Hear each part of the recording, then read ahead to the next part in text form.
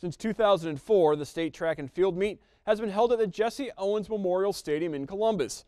Named after the Olympic and Ohio State track legend, in 2006 the Jesse O saw a performance reminiscent of its namesake as number 9 on 44's Top 44 Boys Countdown cemented his place in the record books with four gold medals at the state meet.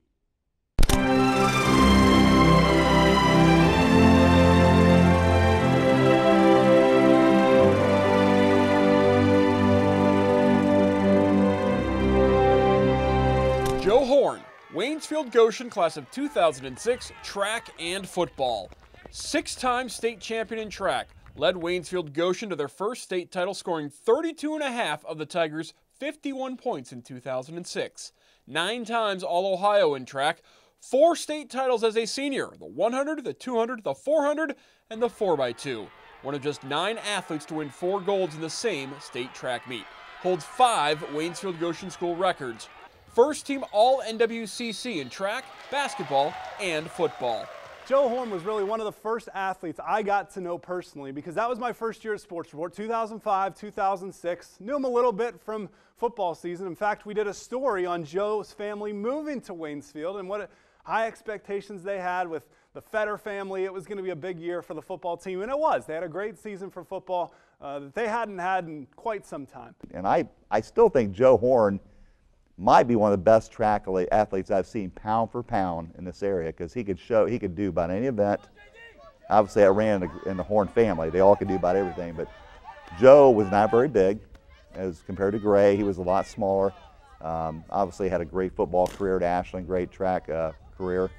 He was just one of those rare athletes that um, you, you look at him, you think, wow, you know, four gold medals in one weekend, but he was amazing, just simply amazing. That state meet I will never forget. My first time ever at Jesse Owens Memorial Stadium, and Joe had a chance to score 40 points, 30 by himself, and then another 10 with that 4x2 relay. You know, he was so far behind that final leg.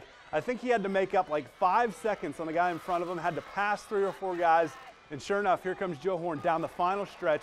Thousands of people rooting him on, and that helped clinch uh, the title. I remember Joe just laying up against the tent, and one of the first words he said, or one of the first things he said to us was, Boy, I'm tired. You know, the guy just won four events. And the amazing thing, a lot of people don't realize the 400 meter dash, I don't think he started doing that till later on his senior year.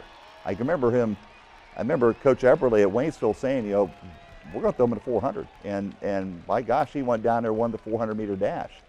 And if anybody's watched a state meet to win they won four events altogether, but won three in that one afternoon, probably within a two, two and a half hour time span.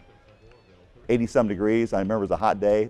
That was an incredible feat. Yeah, Joe Horn, to me, was maybe the fastest of the Horns, although, you know, his cousin Gray might argue the point, but Joe was truly a speed guy, and as was evident by his success uh, on the court, or on the track, I should say, but he also had the ability to impart his knowledge to others, as we have seen and heard in recent years. Uh, but he's done it in different sports too. Uh, to extend that speed and to be as good as he, he is in football as a wide receiver also over the years just shows that he understands sports in general, but he really understands people and how to work with them, both as an individual athlete in track and field and also in the team concept, which to me is a heck of a tribute. Horn went on to play football and run track at Ashland, setting records on the gridiron and earning All American honors on the track before signing with the NFL's Indianapolis Colts. Joe Horn, number 9 on 44's Top 44 Male Athletes. After working the last several seasons as an assistant football and track coach at his alma mater, Joe Horn is now an assistant at Tiffin University.